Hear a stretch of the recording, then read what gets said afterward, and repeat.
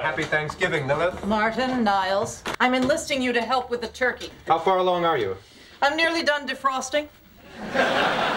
And the turkey? Might I suggest you stuff it? Hello, Lilith. You're late. Oh, well, happy Thanksgiving to you, too. Freddie and I gotta play catch. Okay, let's take a look. Found it. I taste blood. Ah! Is there anchovies in this? Oh my God, I've never seen hives break out that fast. Unless the rest of that sentence is I have a fully cooked turkey in the breast pocket of that blazer, I'm afraid our conversation is at an end.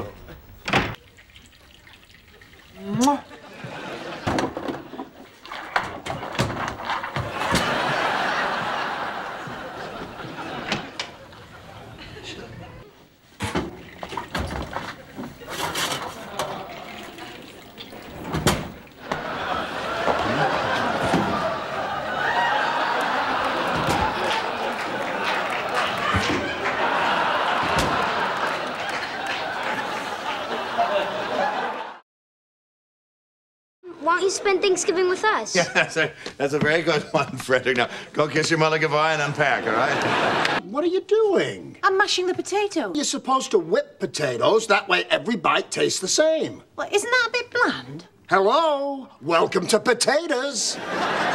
You and Mom should write this article together, but it was her idea. I think the last thing your father wants is to collaborate with me. It was his idea. Since it's about me.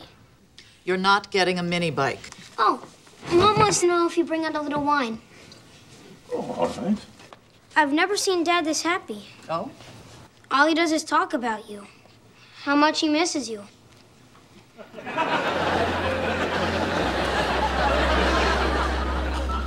Wait, you think I'm responsible for this? Someone is setting us up. Frederick. His hopes are dashed, and we feel so guilty that we compensate by getting him something he wants. A mini bike? It worked. All I did was tap into my parents' feelings of inadequacy, and they crumbled. Frederick, Uh-oh. He was willing to put us through absolute hell just for a mini bike?